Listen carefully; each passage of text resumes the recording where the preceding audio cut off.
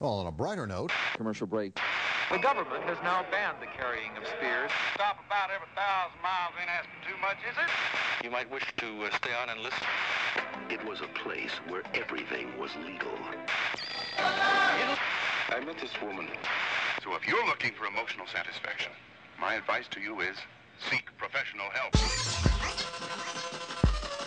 Thank you for joining us live on the air. My pleasure. One nation under God has turned into one nation under the influence of one drug. Television, the drug of the nation, breeding ignorance and feeding radiation on television. The drug of the nation, breeding ignorance and feeding radiation. TV, its satellite links our United States of unconsciousness. Apathetic, therapeutic, and extremely addictive.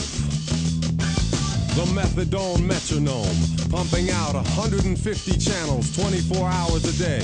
You can flip through all of them, and still there's nothing worth watching.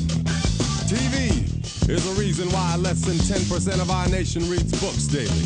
Why most people think Central America means Kansas. Socialism means un-American, and apartheid is the new headache remedy. Absorbed in its world, it's so hard to find us. It shapes our minds the most. Maybe the mother of our nation should remind us that we're sitting too close to the television, the drug of the nation, breeding ignorance and feeding radiation on television. The drug of the nation, breeding ignorance and feeding radiation. TV is a stomping ground for political candidates, where bears in the woods are chased by Grecian formed bald eagles. TV is mechanized politics, remote control over the masses, co-sponsored by environmentally safe gases. Watch for the PBS special. It's a perpetuation of the two-party system, where image takes precedence over wisdom, where soundbite politics are served to the fast food culture, where straight teeth in your mouth are more important than the words that come out of it. Race baiting is the way to get selected. Willie Horton or will he not get elected on television? The drug of the nation, breeding ignorance and feeding radiation on television. The drug of the nation, breeding ignorance and feeding radiation. On the screen is an address where you can mail your tithe offering or gift of love. Okay, got the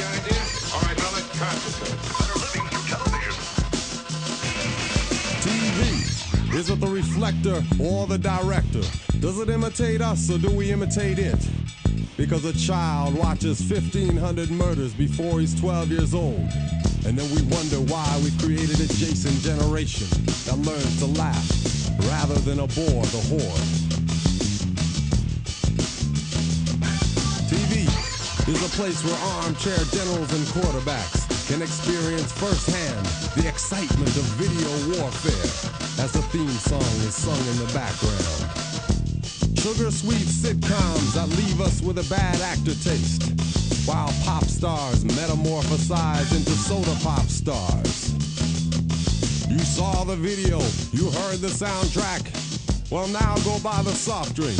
Well, the only cola that I support would be a Union COLA cost of living allowance on television. The drug of the nation, breeding ignorance and feeding radiation on television. The drug of the nation, breeding ignorance and feeding radiation.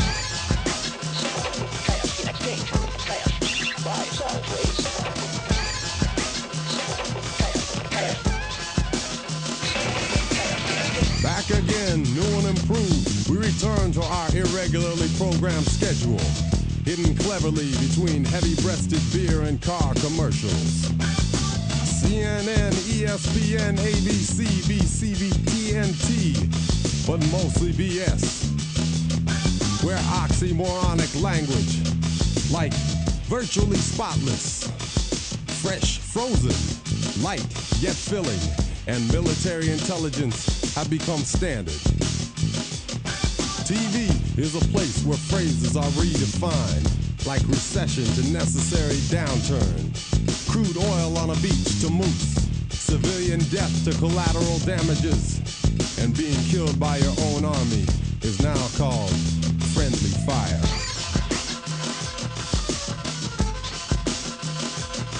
TV is a place where the pursuit of happiness has become the pursuit of trivia, where toothpaste and cars have become sex objects, where imagination is sucked out of children by a cathode ray nipple.